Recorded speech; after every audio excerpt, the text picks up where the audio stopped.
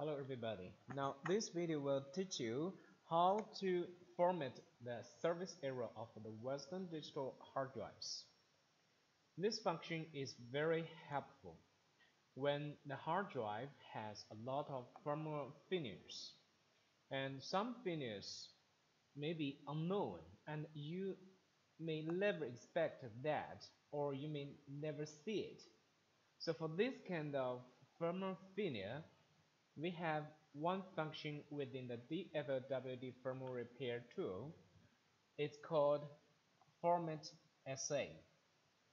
That means we will remove all the firmware modules from the platter area.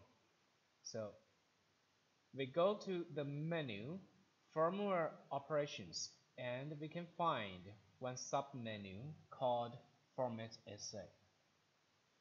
Before Format SA, we can see all the firmware modules by click on the check modules. Now let's try Format SA and see what happened.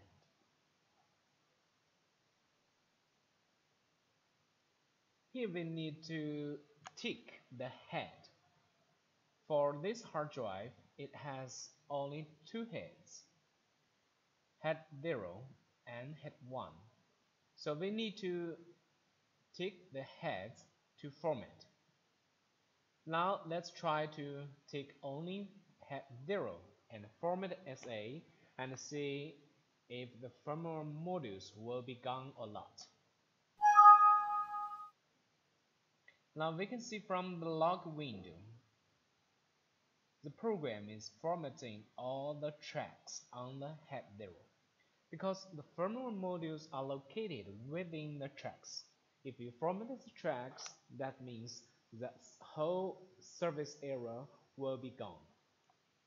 Now let's try to check after the SA format for the head 0 only. We just need to wait and see.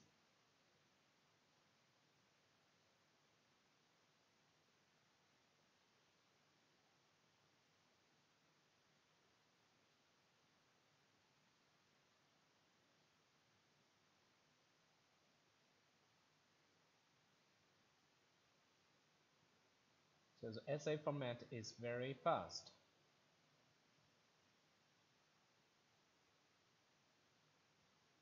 Okay, done.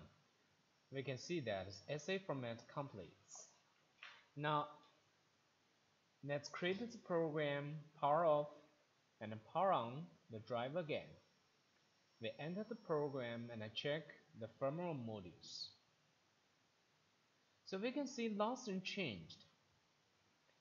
If we take only the head 0 to format the SA, the firmware modules are still there.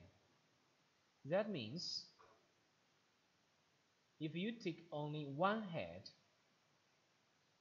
head 0, head 1,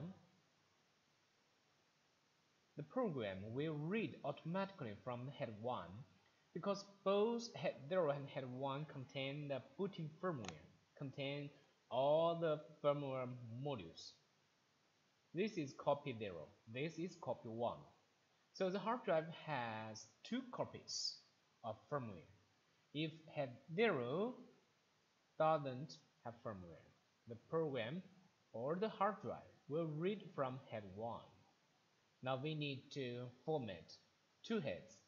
Format both heads and we will see what happens.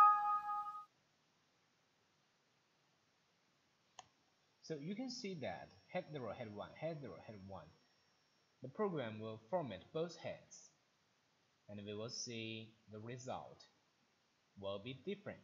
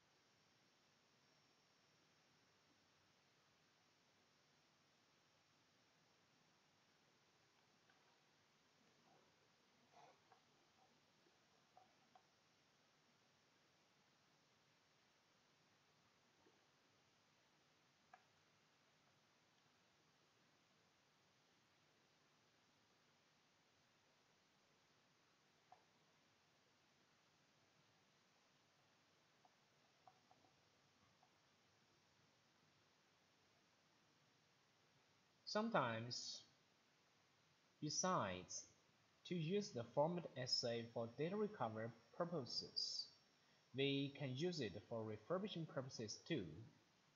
However, there is one important thing we need to notice. If users want to use format SA for data recovery purposes, it's a must. Users must backup all the original firmware modules before format SA. Here, these are the original firmware modules. We need to backup them, especially especially the data recovery firmware modules. For example, the module 3, the module 11, the module 31, module 14. Sometimes we can back up the module 49, 4A, and 36, 32, 33, 36. We can back up these data recovery firmware modules, and that's enough. Anyway, for all users, you need to always back up these original firmware modules before format SA. Because after format SA, we can write a set of donor firmware to the patient drive and then we can write back the original data recovery firmware modules and then the data can be recovered. But if you don't have the original firmware modules, you can never succeed to get the lost data back. Now we can see that the SA format completes. Now let's try to exit the program, power off, and power on the drive again. Now we can start and enter the program and auto get detail. Now you can see that the firmware modules are gone and we cannot detect the hard drive ID or capacity information or any other information because this information are just from the PCB not from the platter. The platter firmware error has been formatted if we click OK and enter the main firmware repair interface, we can see further. Now we can see that the program cannot find the module directory. So the program asks the users to import the module directory or search the module directory. Now we click cancel. Now we have entered the main program and when we check modules it's empty that means the service area has been formatted successfully. So this is how to use the format SA function successfully. We need to format both head 0 and head 1 if you format only one head the program or the hard drive will read the other copy automatically. So this is the difference and this is how to format SA. Thank you for watching this video.